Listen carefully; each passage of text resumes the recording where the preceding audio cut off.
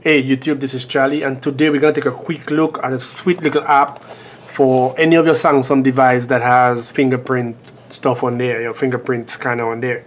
Um, so that will be for the the Note 4 which I have right here and also for the Samsung S6 Edge and the Samsung S6.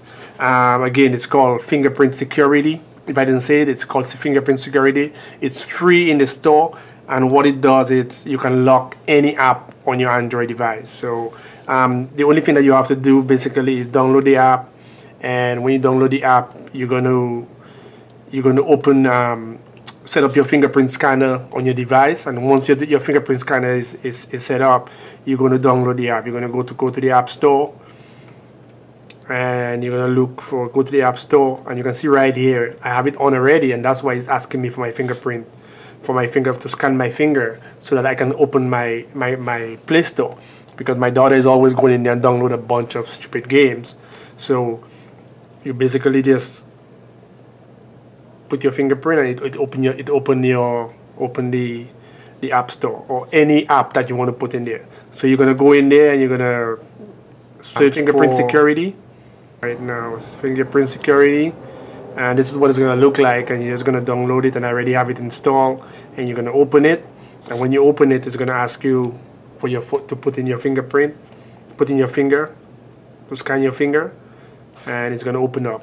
And right here in your list of apps it's going to have all your apps that you have on your device. So all your apps is going to be in there.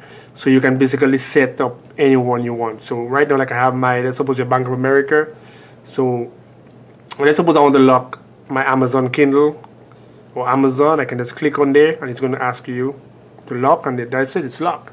Um, you can you can you can go further and, and do custom locking, all that kind of stuff like that. But I, I just do I just normally do just protect this app and that's it.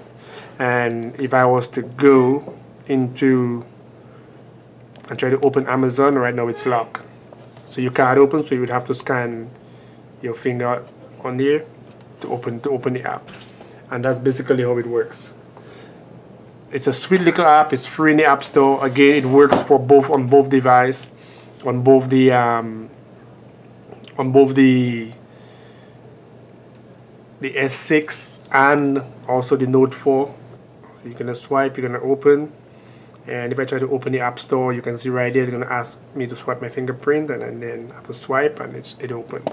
So it works it worked pretty good. Give it a try. It you can lock all your important apps. I have like I said I have all my bank my bank apps and all that kind of stuff lock up in there. So this is Charlie. If you like finger up fingers up fingers up and subscribe. I'm out